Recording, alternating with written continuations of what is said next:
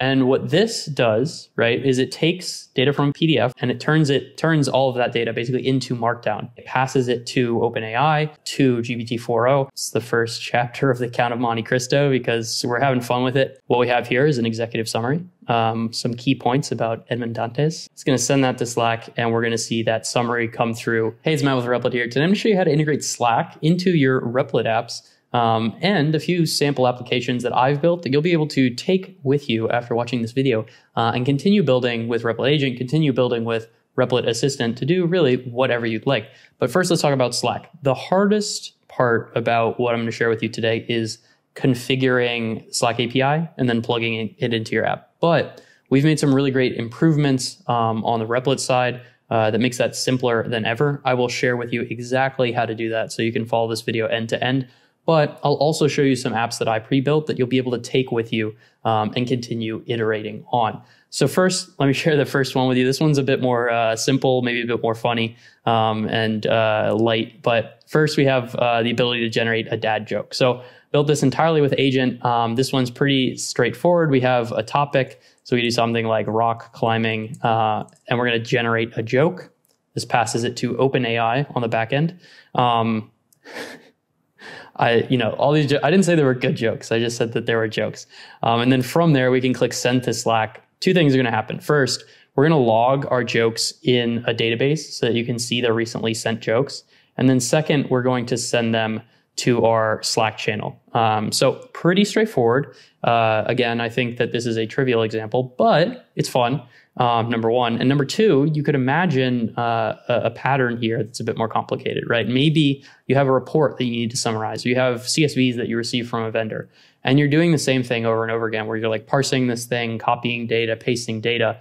Uh, or your team's doing that, right? And you really just want to build an internal tool or build a web page where somebody can go drop this thing in, um, have it analyzed, and then shared. So you're taking data, you're changing it, you're summarizing it, you're generating it, um, and then you're sending it, you're disseminating it to a group of people. And that's what our internal tools here, this is what we're, we're doing with tools like this. Um, so maybe taking this step further from a dad joke, I'll share my second example with you. Uh, I have uh, a PDF summarizer here. And what this does, right, is it takes data from PDF. We're going to use a new library from Microsoft. So uh, that can accept PDFs, Word, PowerPoint, Excel, text, Markdown, and it turns it turns all of that data basically into Markdown. Does the same thing. It passes it to OpenAI. Um, it passes it uh, to GPT-4o. Um, we're going to summarize it and then pass it to Slack. So now we're getting a bit more advanced. Okay, maybe somebody's sending us reports, so we want to summarize that, share it with our team, etc. Uh, let me show you how this one works. Basically, I'm going to grab a PDF. Um, it's the first chapter of the Count of Monte Cristo because we're having fun with it.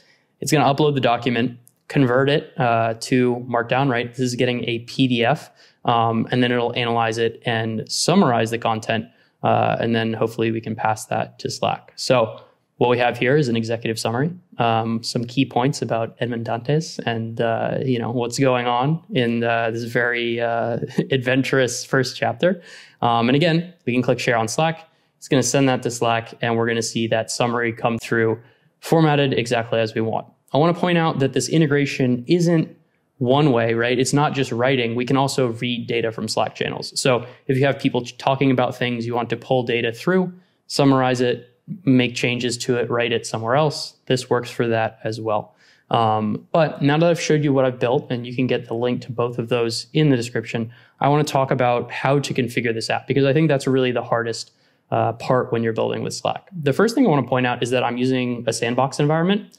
That's not a prerequisite. You can do this wherever. But if you're building something for work, um, or if you're building something on your company's data, it's probably nice to make sure it works before you like start reading and writing messages to channels.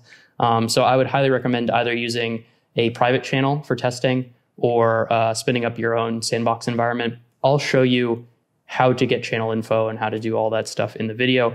Um, but the first thing you're going to want to do is head to the Slack API overview page um, and head to your apps. And so what we'll do is we'll create a new app. Um, I'm going to provide the manifest for the app that I create. So when I create this app, you'll be able to create one with the same information and scopes. So that might kind of expedite your own process of creating Slack apps. But I'm going to choose from scratch. So you can also um, do the same thing. And we'll call this like Matt's uh, great app. So if you use the manifest, now you have an app called Matt's great app until you change it. And I'm going to select the coolest sandbox, which is the name of my sandbox. So now we have an app created. The way that uh, the way that Replit works when it generates these Slack apps, we can probably go back um, and see exactly what happened when I was chatting with Agent. Um, is so I built this with OpenAI, right? Uh, Slack. We get prompted for our OpenAI API key, and we get prompted for a Slack bot token and a Slack channel ID. So the reason that uh, Replit needs a bot token and channel ID is so that when it sends this request, it can authenticate to Slack, or if it needs to pull messages from Slack, it can uh, authenticate and pull those into the environment. Um, the same way that you know, if we want to use OpenAI, we need an API key. Uh, so what we're going to do on this Slack page is configure uh, our Slack app to interact with our application. And to do that, we have to give it permissions to do what I just described. So if I go to OAuth and permissions, this is like really the page that we're going to stay on when we're um, creating these scopes and, and whatnot. And we're going to need to give the bot, our Slack bot, permissions to do stuff. So when I click uh, OAuth scopes, right, uh, we're going to say write I want to allow it to um, write chats, right? Like it's going to be in a channel and it needs to be able to like write chats to that channel, right? That, that makes sense. I also want to be able to uh, like maybe read uh, messages in in the the channels that it's a part of. Um, so I would search read and then I don't even know channels read, right? So this is like reading uh, information about public channels. Um, channels, uh, write invites, chat, write public, send messages to channels the app isn't a member of. Now I don't have to add the the app as a member to the apps uh, to the channel rather that I'm using. So that probably sends saves us a step. Now these apps that I'm building are pretty simple, so I'm going to leave the permissions, the scopes pretty simple. It's best practice to only use scopes that you need. But if I was like reading data from specific uh, messages in the channel, I'd probably need to add some more scopes. I'll leave that up to you. I'll also drop a link to the Slack docs um, in the description of this video so you can learn uh, a bit more about what scopes you would need to add if you're trying to do advanced stuff. But since we have the bot token scopes configured, um, we should be done uh, with like the um, like configuration for the app. We need to install the app into our um, workspace. Again, if you work at a company, or if you're trying to do this in a Slack you don't own, you might have to get permission to do this. Um, that's why I'm using a sandbox. Um, and you're going to get a bot user OAuth token. This is the part of the video where I say this token will have been deleted by the time you see this video, so don't try and steal my token. Um, so I'm going to copy this, uh, and we're going to head back to Replit, right? Um, and we can go to secrets. So you can see when we're when we're configuring this app, we, Replit should give you the following prompt. It should say, "Hey, uh, if you go into Agent, and you just type in a new prompt it's going to say you need to give us a bot token, you need to give us a Slack channel ID and an open API key, uh, and we're going to do that. So um, again, uh, we're going to go to our Slack bot token here. I'm going to click Edit, and then I'm just going to drop in that new secret. We'll click Update Secret. Um, channel ID is the same. The way you get a channel ID is you go to Slack and you go to your channel. You can really click anywhere, and then you go down on the bottom. You get a little channel ID hiding out there. So you copy that, you just go back to Replit and you drop it in.